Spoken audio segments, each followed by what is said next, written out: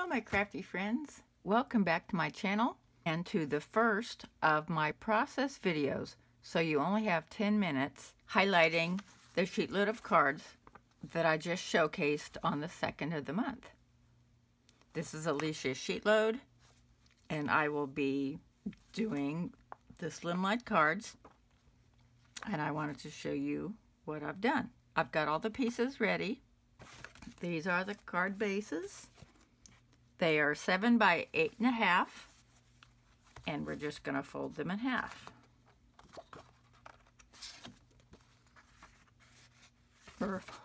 Yeah, lengthwise.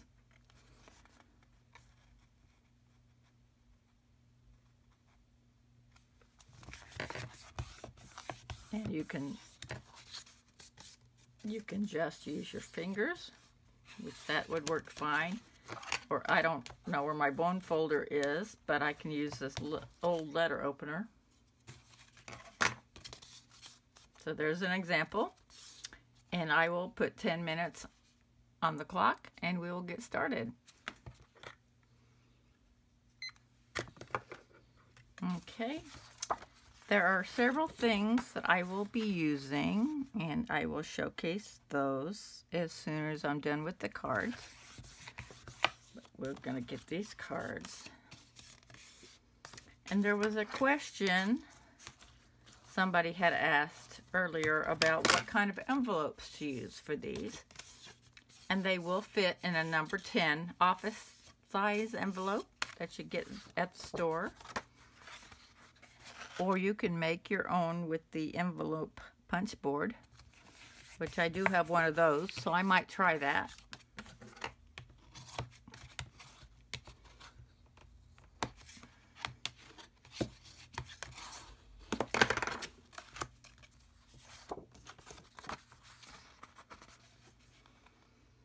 Going to be just making six um, for the purposes of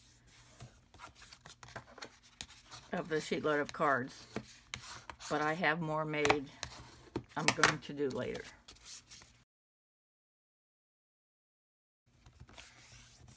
And you will see also that the first piece of pattern paper is cut to exactly fit over the card base. But I'm going to cut it down a little more because I do prefer just a hint of the white card base showing.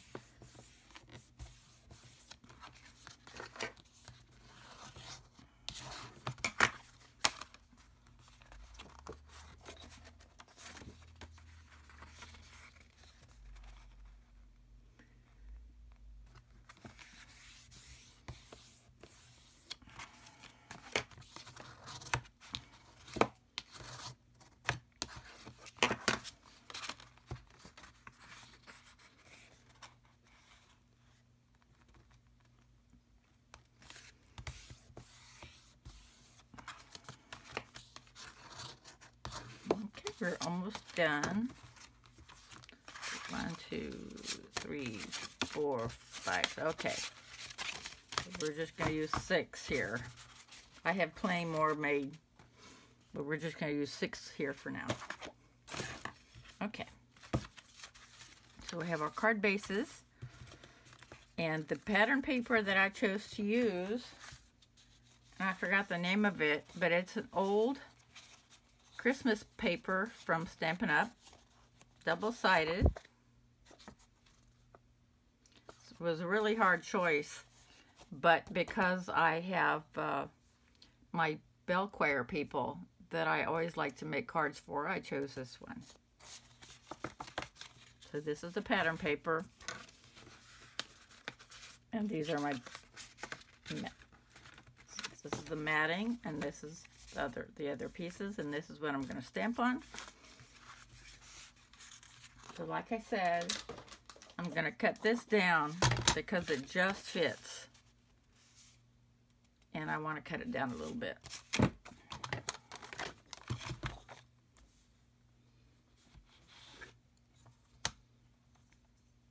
Probably about to that first line, maybe an eighth of an inch.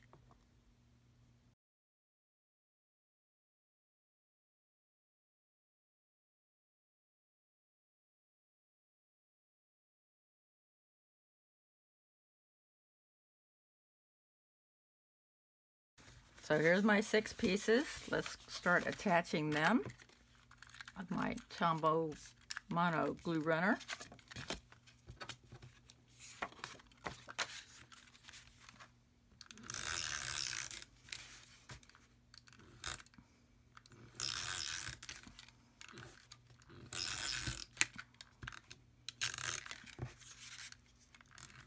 And I do have a replacement handy when and if it runs out.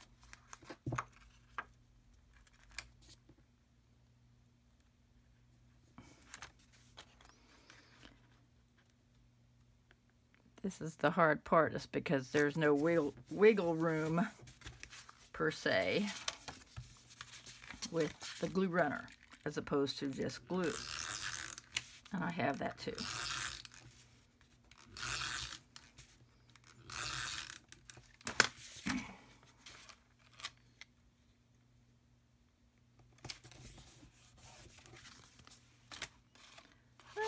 But that's what makes our cards unique, right?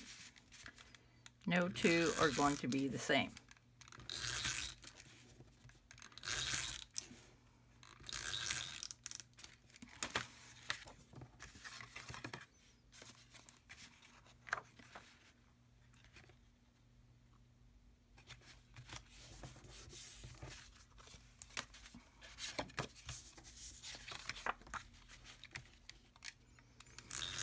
I did a prototype just to see how everything would work out and I think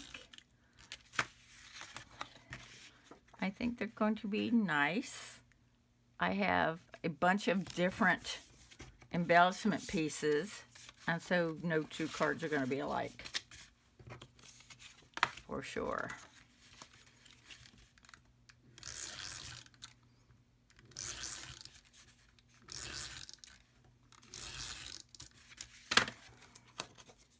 Sure to put the bells right side up and make sure the card is opening the way I want.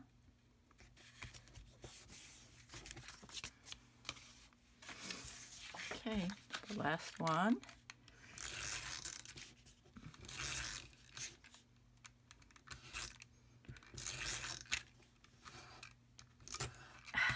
Okay, well, okay, I'm down to a minute let's go ahead and put in my new replacement. Or just use some use some glue.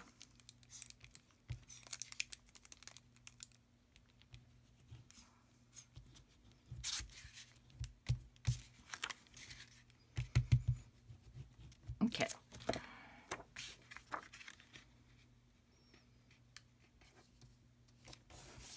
Okay, so there's our six cards.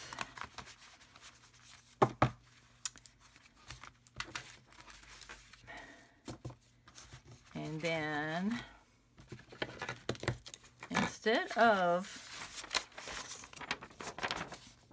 this small piece here that's going to go across, I'm going to be using ribbon and you'll see that more clearly as we go.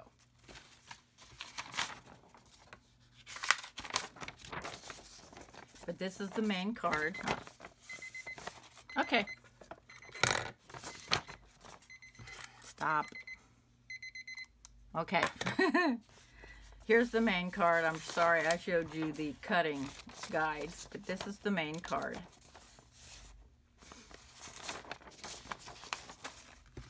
So we got all the, front pieces on. And so next time we will start with, I'm going to go ahead and stamp the sentiment. We're gonna we're going to assemble these pieces. So the sentiment sentiment here and the pattern paper here. And then in the middle is going to go that piece of ribbon. Okay. And the sentiment that I have chosen is the best gifts don't come under the tree. and it fits just perfectly with some room for embellishments. Thank you for joining me, and we will see you next time. Bye-bye.